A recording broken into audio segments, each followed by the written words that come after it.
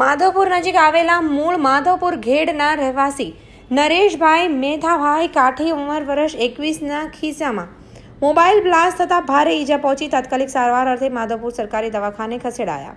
મૂળ માધવપુર વણકારવાસમાં રહેતા નરેશભાઈ મેધાભાઈ કાઠી તેઓ ઘરેથી માધવપુર રિક્ષામાં કામ અર્થે આવતા હોય ત્યારે રસ્તામાં આપોઆપ એમઆઈ કંપનીનો સેવન ફાઇવ હંડ્રેડનો મોબાઈલ બ્લાસ્ટ થતાં ભારે ઈજા પહોંચી હતી.